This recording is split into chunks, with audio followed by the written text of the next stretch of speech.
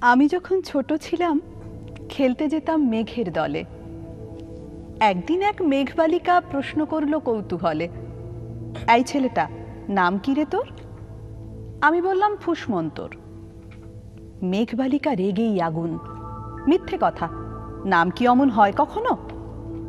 আমি বললাম, নিশ্চয়ই হয়, আগে আমার গল্প শোনো।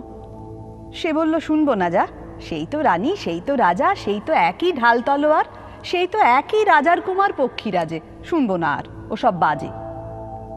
আমি বললাম, তোমার জন্য নতুন করে লিখব তবে? সে বলল, সত্যি লিখবি? বেশ, তাহলে মস্ত করে লিখতে হবে। মনে থাকবে, লিখেই কিন্তু আমায় দিবি। আমি বললাম, তোমার জন্য লিখতে পারি এক পৃথিবী। লিখতে লিখতে লেখা যখন সবেমাত্র দু চার পাতা হঠাৎ তখন ভূত চাপলো আমার মাথায়। খুঁজতে খুঁজতে চলে গেলাম ছোটবেলার মেঘের মাঠে। গিয়েই দেখি চেনা মুখ তো একটিও নেই এ তল্লাটে। একজনকে মনে হলো ওরই মধ্যে অন্য রকম। এগিয়ে গিয়ে বলি তাকেই, তুমি কি সেই, মেঘবালিকা? তুমি কি সেই? সে বলেছে, মনে তো নেই। আমারও সব মনে তো নেই। আমি বললাম, তুমি আমায় লেখার কথা বলেছিলে। সে বলল, সঙ্গে আছে, ভাসিয়ে দাও গায়ের ঝিলে। আর হ্যাঁ শোনো, এখন আমি মেঘ নই আর, সবাই এখন বৃষ্টি বলে ডাকে আমায়। বলেই হঠাৎ এক পশলায় চুল থেকে নখ আমায় পুরো ভিজিয়ে দিয়ে, অন্য অন্য বৃষ্টি বাদল সঙ্গে নিয়ে মিলিয়ে গেল খরস্রোতায়।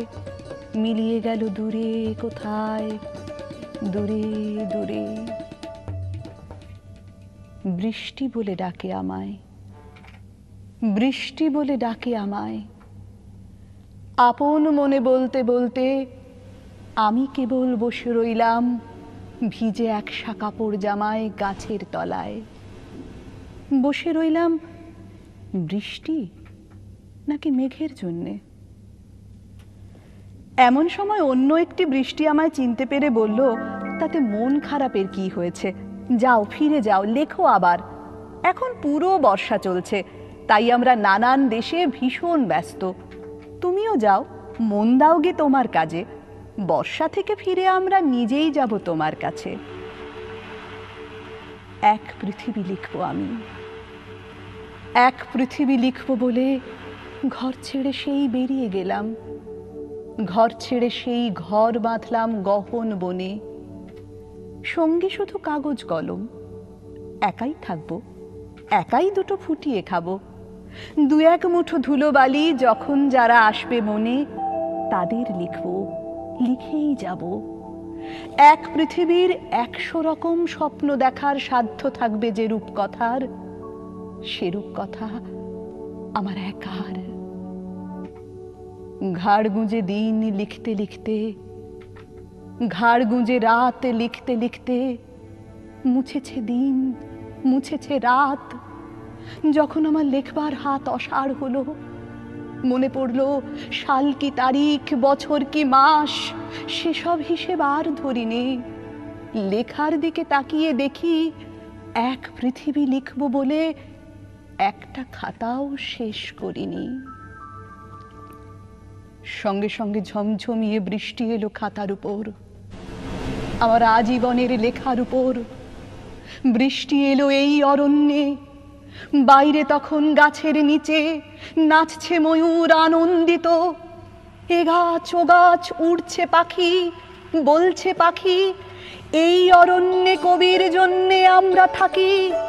বলছে ওরা, কবির জন্যে আমরা কোথাও আমরা কোথাও। আমরা কোথাও হার মানিনি। কবি তখন কুটির থেকে তাকিয়ে আছে অনেক দূরে। বনের পরে, মাঠের পরে, নদীর পরে, সেই যেখানে সারা জীবন বৃষ্টি পড়ে বৃষ্টি পড়ে, সেই যেখানে কেউ যায়নি, কেউ যায় না কোনোদিনই। আজ সে কবি দেখতে পাচ্ছে। সেই দেশে সেই ঝর্ণা তলায়, এদিক ওদিক ছুটে বেড়ায় সোনায় মোড়া মেঘ হরিণী। কিশোরবেলার সেই হরিণী।